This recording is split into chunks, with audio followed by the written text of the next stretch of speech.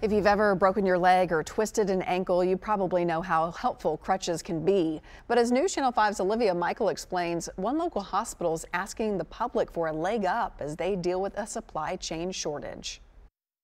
In a world full of supply chain shortages, hospitals are not immune. We see about 1,500 patients each week, and so about 50 of those patients will require a prescription for crutches. In just a month, the Williamson Medical Center's Bone and Joint Institute could administer 200 sets of crutches, not including those that are given out in other parts of the hospital. And so it's a little difficult to care for a patient and send them home after an injury if we don't have the supplies to do so. Now, some of those supplies are running short. Uh, there's actually a shortage of aluminum which most crutches are made of. That's why the Crutch It Forward campaign is leaning on the community for help. And the community was so helpful last year when we asked them for help with masks and PPE that we thought reaching out to the community and asking them to help us with this would make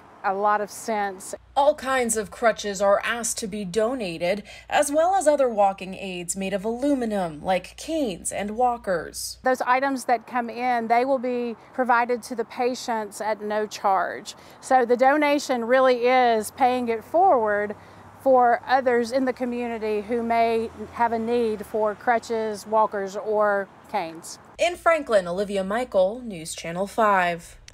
To find where you can donate, visit our website, newschannel5.com.